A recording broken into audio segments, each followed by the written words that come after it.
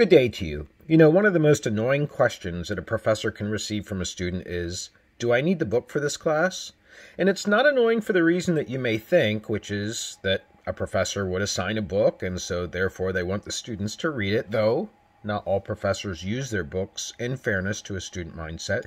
That question is not annoying for that reason. It's annoying because the student is not seeking out the opportunity to read a book that has been suggested by a professor. And really, a book that's suggested by anybody is what I'm trying to get at here is the shame I'm trying to say. You know, books are really hard to get people today to read for many reasons, not people's fault because there's so much competition with the phone. And reading takes place elsewhere, takes place online, takes place when you pass people with t shirts, etc. So, reading is not necessarily something that people are doing less, but the book is not something that attracts people like it used to. And yet, a book is a really heady medium. Heady, I'm choosing that word on purpose, and I'm going to try and get that across as I introduce our very first mass medium that we're going to be discussing in terms of the development of a technology and then tracing that technology and its impact on society. Up until now, we haven't come to technologies, we haven't come to inventions like the book. And for much of the rest of the class, not all of it, we're going to be taking on successive inventions like the newspaper and radio and television, etc. For today, it's the book. And the book has a mighty permanence to it, does it not? I mean, when you say I booked the airline flights, there's a permanence to that, right? And an excitement that goes with it. It's for real. We booked the flight. If somebody's been booked into jail, wow, that's serious. They've been booked into jail. And so, book has a very heady meaning to it. A book is something that to many people is likened to a teddy bear. It's a it's an object that people kind of cradle. This one is called Dining with the Danes. Somebody got me that book because I love Danish food. I've been to Danemark a few times.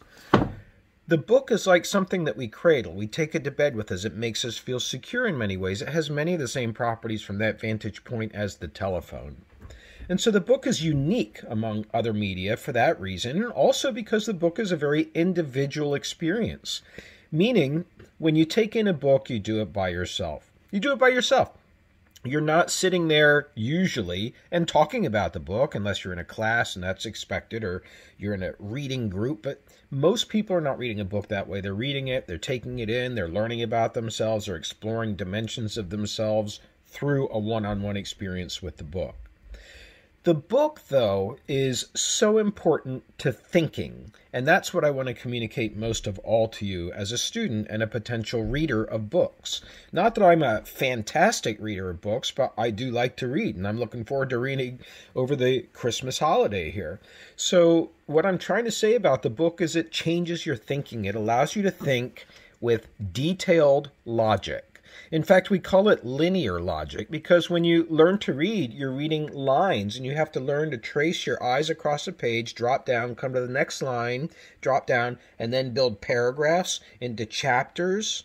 And then you end up with a kind of message that has to be constructed using your mind. So, a book is something that encourages a way of thinking because of that process that is not encouraged that way of thinking by any other mass medium. And it allows you to be a very detailed thinker and somebody who can express themselves and analyze problems very well if you're a big reader. I say I'm not a big reader. I mean, I read all kinds of stuff. I got Rolling Stones books here. I've got, well, here's a book that I actually wrote called Comparing Media from Around the World. I'll say something more about that later. And here's a book that I'm reading for a class and I'm teaching. It really doesn't matter what you read as long as you read. That's what I'm trying to say here.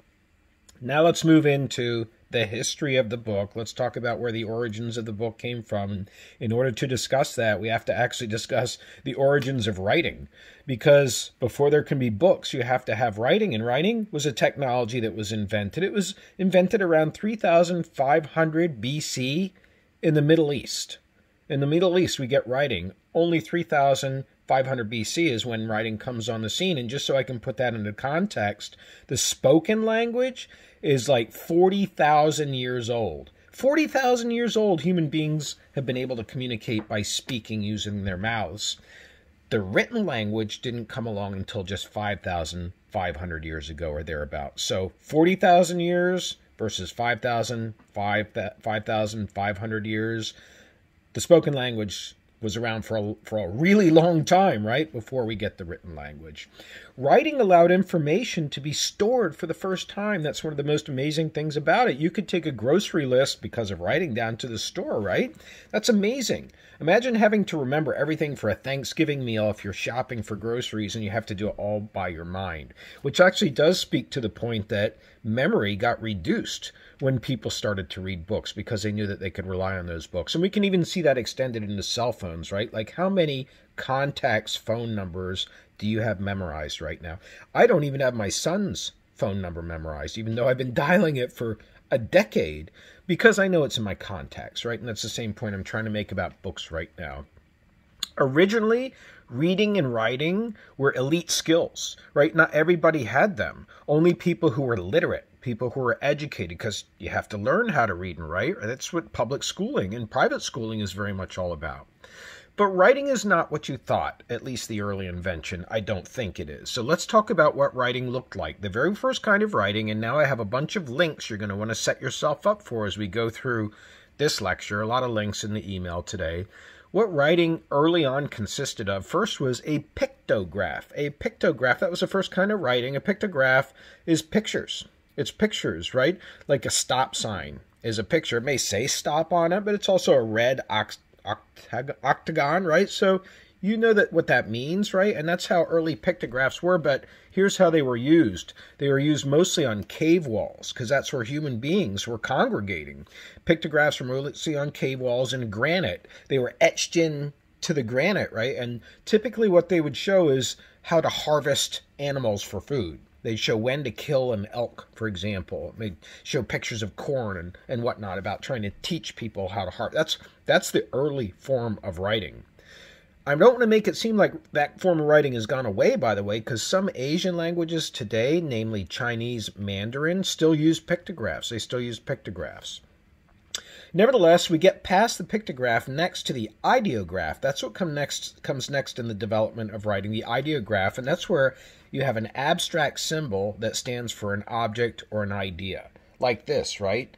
What is that, right? It's coming up in February, right? That's supposed to be a heart. It might be a lame example, right? But that that stands for love. And love love means a lot of things. It means forgiving people. It means showing affection towards people. It means showing appreciation for a lot of things with love. And that's what an ideograph is. It's an abstract symbol like a heart or an exclamation point or an emoji with a thumbs up. Those are all examples of ideographs. Next up in the development of writing is phonography. Phonography is a system of writing in which symbols stand for sounds. It's a system of writing in which symbols stand for sounds. And so there are many different languages that have this phonography basis to them, but at the core of all of them, or at least most of them, not the Chinese, because that's a pic, not Chinese Mandarin, because that's a pictograph-based language, but at the core of phonography, and really the entire structure of writing, is the alphabet. It's the alphabet, which has letters that represent individual sounds. Individual sounds like a letter A can be an A, or it can be an A sound, right? So this is what the alphabet allows us. It allows the human being to flex their communication through many different forms of expression using sounds. We get the alphabet around 1500 BC. So the first form of writing, which was pictographs, is 3500 BC in the Middle East. We get writing around 1500 BC, which makes it even really newer than we thought compared to how long the, spo- the spoken language has been around. Now, where did writing take place? Well, let's talk about where paper came from. That's what we write on today if we're not writing on our cell phones and laptops. Before that, though, it was cave walls. I told you about that, but they're stationary. You're not moving them, right? So next up was the clay tablet. Just like Moses supposedly carried down from the mountains, the same shape, form tablet, same same shape as your cell phone actually. Tablet, very heavy. They break. Once the message is etched in, you can't change it. I mean, they were more mobile. You needed a, a donkey and a cart to move them, but more mobile than a cave wall, right? So we had we had clay tablets for a while, and even rocks were used to some extent for writing on, until papyrus was used. Papyrus. papyrus is made from reeds, you know, reeds that grow out of water, right? They're hollow right? So those are mashed down and water's extracted from them. And that was the very first form of paper, and that was invented in Egypt. Egyptians came up with that in 3100 BC. So at that time, you had you had pictographs being written on papyrus. But you can imagine it dries out, it rips up, it's rough, it's it's not you can't erase on or anything. Not that that was possible at that time. It it gave way to the next invention, which was parchment. Parchment was goat skin. So goat skin dried out, and then you write on it, and that also had some problems. Once it dried out, it roughed up, it started to curl, and you know it was very difficult to write evenly on goat skin, even though it was tougher than paper. Uh, than sorry, than parchment. Uh, sorry, than papyrus. All these P's, right? Papyrus, parchment, and then finally we get paper. Paper was invented by the Chinese. The Chinese invented paper around 200 BC, around 200 BC. So there you have a kind of history of the origin of the of the written of the written language. Now that all the tools are in place, people can say, "Hey, we can put pages together because we have paper. We can bind them at one end. We can have this thing called a book." Called a book. And where were books originally written? Well, they're not printed yet, right? They're written. They were written in places called scriptoria. Scriptoria. Scriptoria were monasteries. You know where monks are? Monasteries where written where books were written and it would take five years to write an average book. Five years to write an average book. Took forever, right? So, and each book was individual, and if you made a mistake halfway down the page, you have to start all over with the page again. Can you imagine writing out a book? And monks had a lot of time on their hands, and so they were given that job until, until along comes the most significant invention in the history of mass media most people consider the most significant invention. I mentioned it in an earlier instructor video. It's called the the Guten. Sorry, it's called. Let me start over again. It's called the Gutenberg printing press. The Gutenberg printing press. And Johannes is the first name, and Gutenberg is his last name. He was a metal worker in Germany, and he he basically came up with this machine that would allow a human being to pull down on a lever. You can see it depicted in one of the links that I sent today. Pull down a lever, it would stamp out paper, and that paper could be pulled out, and you could put another sheet of paper in, pull down that lever, stamp that down, and you have the same words on two separate sheets of paper. And so you can start to standardize books. You can start to print them out in mass form. Here's page one, page one, page one, page one, page one. I just print out five copies of page one. It was a phenomenal change in the way that messages were created. It meant that people were getting identical copies of books for the first time because they weren't handwritten by scriptoria where somebody may have left out a word or had a different writing style. It was a phenomenal change in society that we're going to trot out in a few moments here, but just for the moment, let's fasten on to the fact that words could be produced very quickly and spread, standardized words to to really to masses of people, right? So we're first coming up with the word mass in this class. You're familiar with the word font, right? A lot of people play around with fonts, they have their own special font. Font means mountain of type. It means mountain of type. It's a Latin word. That's where that comes from. In italics, you know where that word comes from? We put book titles in italics, we put journal articles in italics, sometimes we write love letters in italics.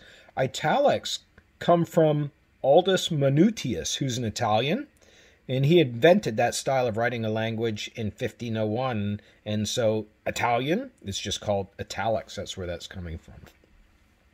And so now let's address the major change that happened because of the printing press. And what we can really say is that the printing press invented mass culture.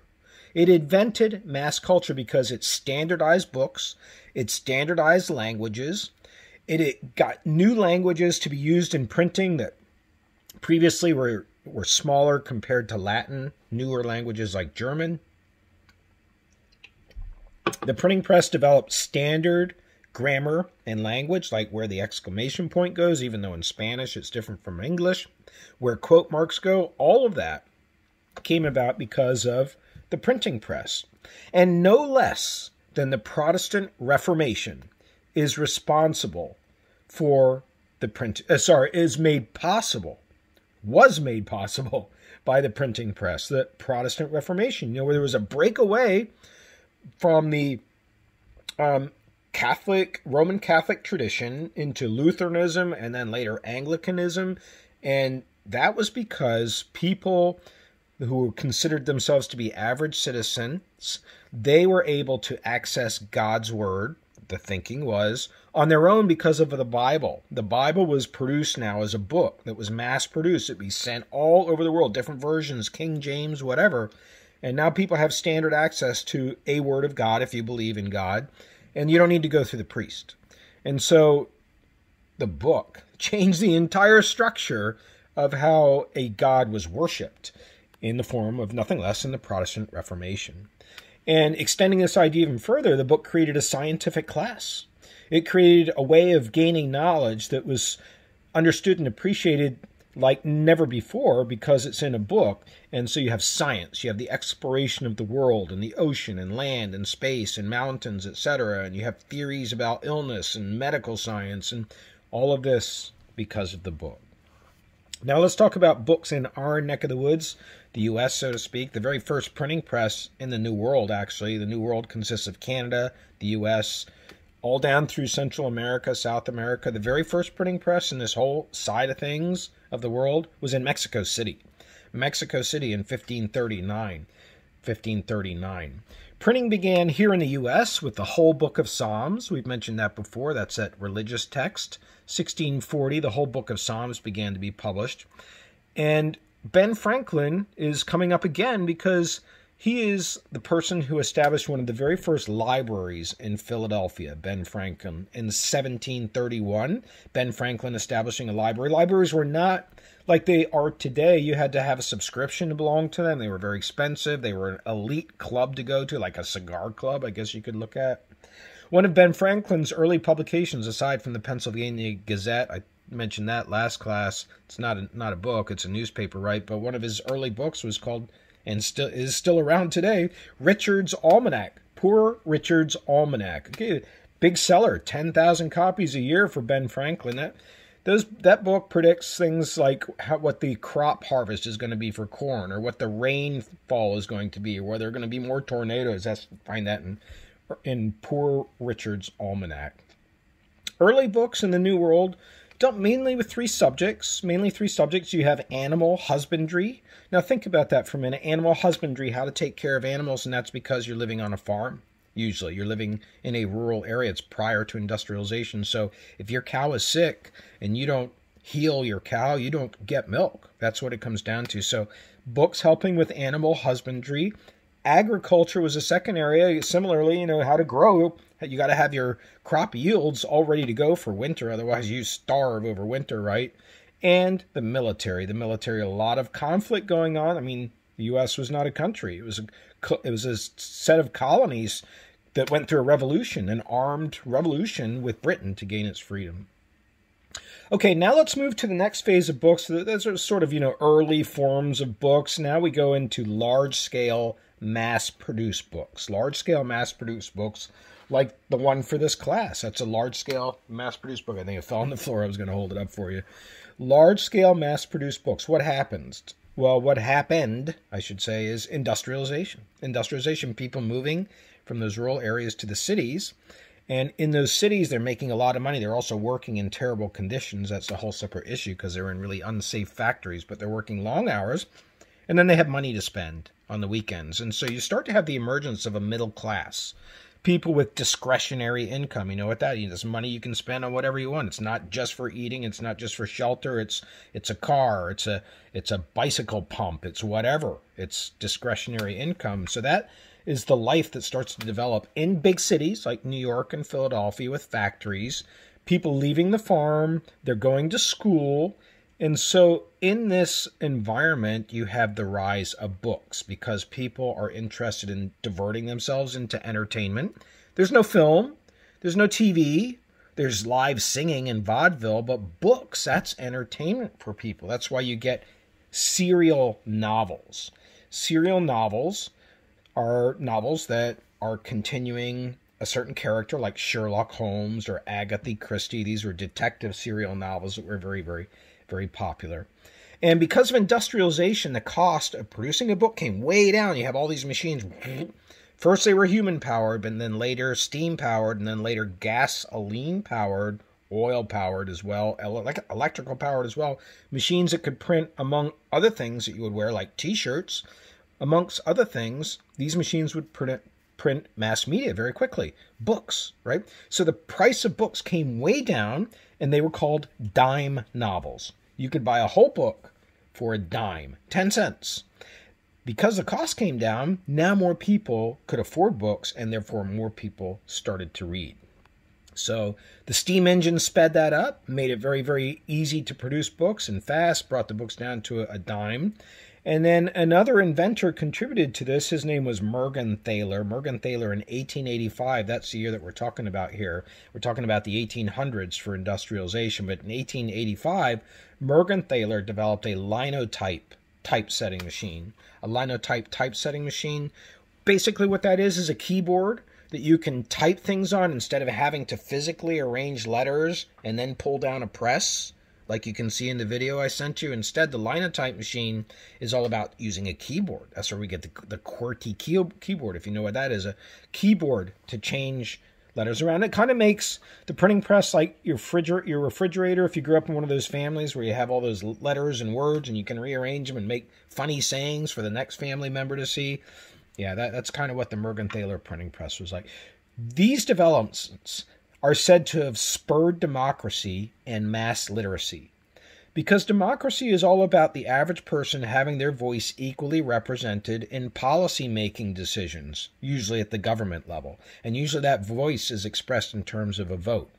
But in order to have a vote, you have to be educated, right? And so people didn't need to rely on leaders anymore as much as they could get their own information from books. So books spurred knowledge, which spurred democracy, and spurred mass literary, literacy. With the dime novel, people could could afford books. Let's talk about buying and selling books now. In the 1900s is when books really became big business in the United States through publishing houses or publishers, as they are also called. Publishers are, are companies that buy manuscripts and they turn them into books. They turn them into books. Today, just like the other media industries we've talked about in this class, starting with the last class in media media business, is there are only a, a handful of companies that control the publication of most of the books today. It's really down to five major publishers. Simon and Schuster being one of them, Penguin being another one. So those are the they control 90% of the the, the sales of books, right? When you go to Barnes and Noble, that, those five publishers are raking in most of the money. When you go to airports, if you buy a book, same thing. It doesn't mean that there there are not smaller presses, like there are university presses. My university, my where I got my PhD, Penn State University, has its own press. It tends to publish a lot in rhetoric, the field of rhetoric. So there are small presses, and they do a limited number of books on a on a specialty on specialty subjects, just like Rounding Some Corners is a small publisher. It's Fountainhead Press out of Southlake, Texas. There are also what are known as vanity presses. Vanity presses is where the author pays to be published, if you know what I mean. So there's not there's a lack of integrity to the process. It's not like the book is recognized by somebody external to the author and they say this is going to be a good idea. It's like the author says I believe in myself, and so you purchase publishing through a vanity press and they produce your book. And you know, a lot of people do pursue that just so that they can get a book into publication. The government printing office is one of the largest publishers, actually. It's one of the nation's biggest publishers. It's got a lot to publish. It's got all those tax forms it has to do. It's got the Code of Federal Regulations, regulations galore, really. All kinds of stuff coming out of the government printing office. Authors are still in society seen as having a status that makes them somewhat distinguished. If you are a book author, it automatically carries a distinguished air to your persona. It's the way it is. It doesn't matter what the book is, and that's because of that permanence of the book. It's because of the history of the book. It's because of the individualism of the book. It's because the book causes you to think in linear ways. So, what's it like to be an author with the average publisher? I'm an author with two publishers, and usually what happens is the author gets an advance I got an advance for, for my book, Comparing Media from Around the World, which is no longer in print. It's out of date now. I did not get an advance for Rounding Some Corners. What an advance is, is where the pu- publisher gives you money up front that you then pay back through your book sales. You don't get the money for free, you pay it back. My advance for comparing media from around the world was $3,500 back in the early 2000s when I wrote it. And I used that money to travel to the countries that I went to to interview officials to write my book. And that included, for example, France and Ghana, Africa. That's what I used my advance for. The publisher controls the content. They, they have complete complete editorial control. Like you can hope that they accept your writing, but they have all the rights of eliminating things, and they also control the copyrights afterwards. It's not not your work anymore. They agree that they're going to pay you royalties, but they own the rights to that work. There's usually a review process. There was for my book, Comparing Media from Around the World, where you send your book in and then they go and get two or three people from the field and they say, We're not going to tell you who this is. You wrote the book, but we want you to read it and tell us what you think. And if they like it, that's a good review. At some point, you are provided with proofs. This is like the next to last stage before you have the book come out. Proofs are like the sheets of paper that you look at. You can last chance to collect to correct any mistakes. And then eventually, maybe there will be a profit in the textbook market, which is what mine was for. There's no real profit making. That's not why I wrote the book. I made four dollars and fifty cents off each one, and the book didn't even sell three thousand copies. So that wasn't wasn't the point. But there is usually a royalty that's paid. Within the industry, I mentioned earlier that there are fewer and fewer players. There has actually been bookseller and distributor consolidation. Today, there is actually a huge wholesaler. You know what a wholesaler is? It's like a warehouse, right? That gets the customer doesn't buy directly from a wholesaler. The wholesaler sells to retailers, and they have that in the book industry as well. And the biggest wholesaler in the world is the Ingram Book Company, the Ingram Book Company. Today, Barnes & Noble, probably no surprise to you, is the biggest chain, but by and large, the brick and mortar bookstore, even though we have a Barnes & Noble here at ESU, a brick and mortar store, it's going to be fading away as people move more into electronic readings of books. The textbook business is something that you know very well if you're a student. You know that it seems like a big ripoff, the amount of money that you pay. The average student does spend a lot of money on books. We're talking over almost 1500 bucks for technology and supplies and books for each semester. And that's why you have a strong secondhand book market that's emerged. That's why you have book rentals. That's why you have ebooks, including for this class. Ebooks are, are, are, are available. When we talk about the impact of books on culture now and the larger picture here, we know that the the, the world of readers generally divides books into two kinds of books. There are serious literary books, that's one kind of books, and there are not so serious popular books, right? So Harry Potter, Twilight, Hunger Games, as great as they are, they're probably not considered serious books like a Shakespeare or a Thoreau or a John Steinbeck. Any of these writers, if you happen to know them, there's kind of an elitism that takes place there. There's a New York Times bestseller list, and a lot of people look to the New York Times bestseller. People are choosing Christmas books based on that list right now. It's part of books and culture. Books are in our culture. There's a lot of teen series books.